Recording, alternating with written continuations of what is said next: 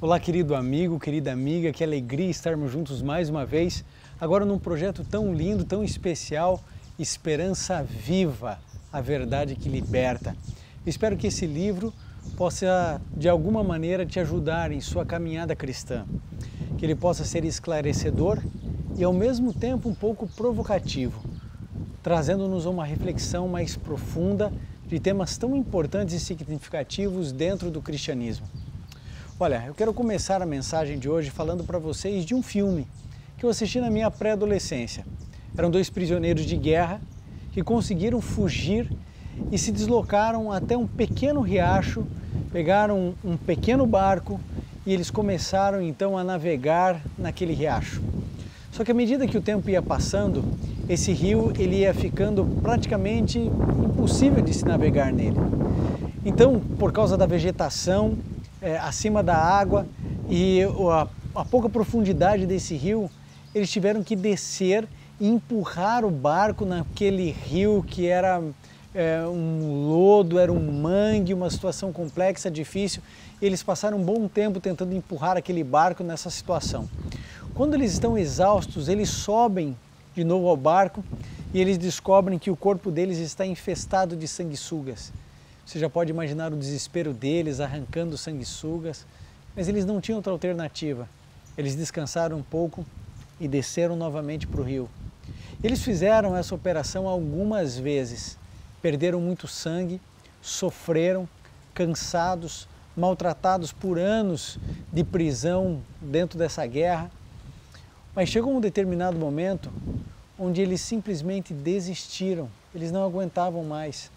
Boa parte do filme você acompanha essa fuga e você obviamente fica torcendo para que eles consigam se libertar.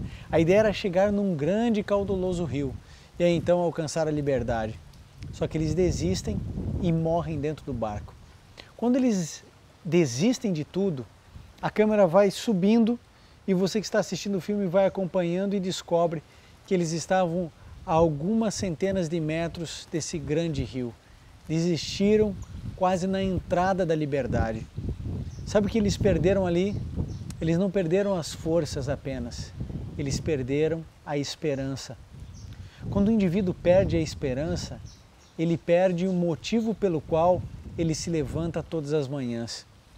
Esse livro, Esperança Viva, tenta resgatar em você e em mim a esperança que não pode nos faltar em busca da verdade e da liberdade que encontramos apenas no nosso Senhor Jesus Cristo. Agora você sabe de uma coisa: aquilo que nós sentimos em relação à volta de Jesus não é um desejo simplesmente, não, é a nossa esperança. Porque a diferença entre desejo e esperança é que no meio existe uma palavra chamada promessa. Por que, que eu e você aguardamos a volta de Jesus e dizemos que é uma esperança, não é apenas um desejo, porque Jesus prometeu. Você sabe que existem 2.500 passagens na Bíblia falando, mostrando que Jesus Cristo voltará a essa terra. É a mais difundida das promessas e a mais linda de todas as esperanças. O dia em que eu e você perdermos a esperança, nós perdemos tudo na nossa vida. Eu e você precisamos resgatar o senso de esperança de que dias melhores virão. Essa convicção de alma que nos faz levantar todos os dias, acreditar no amanhã, crendo na promessa do Senhor Jesus Cristo. Durante quatro mil anos, as pessoas aguardaram a vinda de Jesus, a vinda do Messias. E alguns deles externaram essa fé inabalável, essa esperança na vinda do menino prometido. Talvez uma das pessoas que tenha expressado isso de maneira extraordinária tenha sido o profeta Isaías. No livro que leva o seu nome, Isaías, no capítulo 9, no verso 6, nós lemos o profeta Isaías escrevendo o seguinte: Porque um menino nos nasceu, um filho se nos deu, o principado está sobre o seu ombro e o seu nome será maravilhoso, conselheiro, Deus forte, Pai da eternidade e príncipe da paz. Você percebeu o que Isaías aqui fez? Ele disse: Um menino nos nasceu, um filho se nos deu. Ora, Jesus não havia nascido ainda.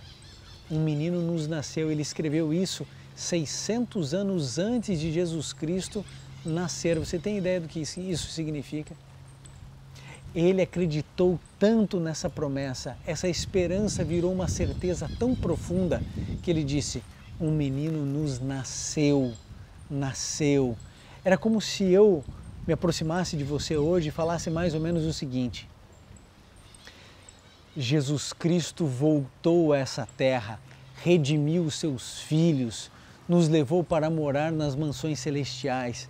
Eu coloco no passado algo que ainda irá ocorrer. Foi o que Isaías fez. Tamanha era a certeza da esperança que ele carregava no coração, no peito e na alma. Quero fazer um apelo para você. Você sabia que existem milhões de pessoas que estão desesperadas, sofrendo porque não têm esperança? Pessoas que tiram a própria vida porque não conseguem vislumbrar no futuro um amanhã melhor. Mas se soubessem das verdades bíblicas, daquilo que a palavra do Senhor declara, talvez pudessem voltar a sorrir. O objetivo desse livro, Viva com Esperança, é que as pessoas carreguem no peito essa esperança e que no nosso olhar exista uma cumplicidade, que eu e você possamos enfrentar as mazelas, as vicissitudes da vida, certos de que o nosso Deus está ao nosso lado que Ele não dormita o guarda de Israel, que Ele cumpre as suas promessas e que eu e você podemos espalhar esperança para o Brasil, para a América do Sul, para todo o mundo. Talvez você não saiba, mas existem mais de 100 idiomas que carregam em si a palavra esperança. Isso indica que cultura alguma consegue se formar, sobreviver, viver sem esperança. A Bíblia apresenta a esperança como uma pessoa. Jesus é nossa esperança. Nossa esperança tem nome, tem sobrenome.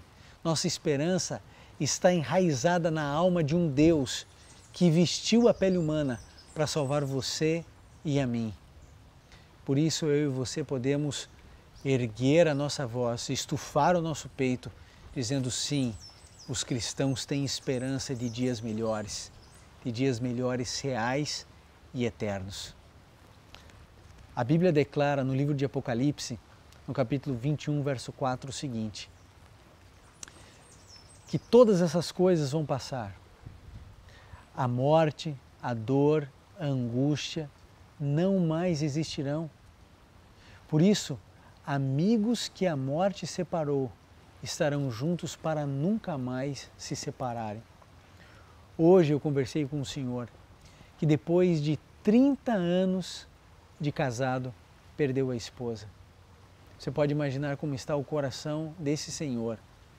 Mas ele disse: Nós que temos a palavra, nós que temos a esperança, não precisamos nos desesperar.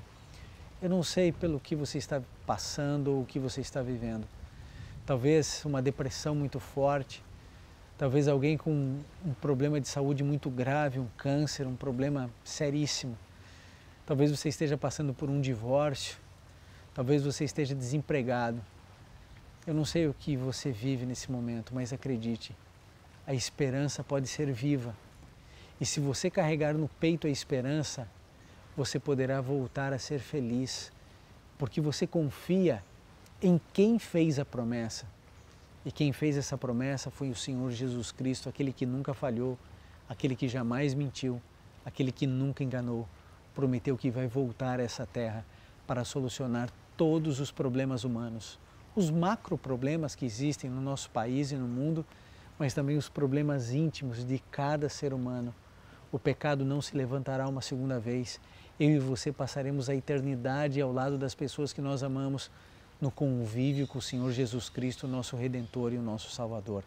Que essa esperança viva que liberta, liberte você, sua casa, sua família e que eu e você tenhamos a certeza de que Jesus Cristo voltará em nossos dias, na nossa geração.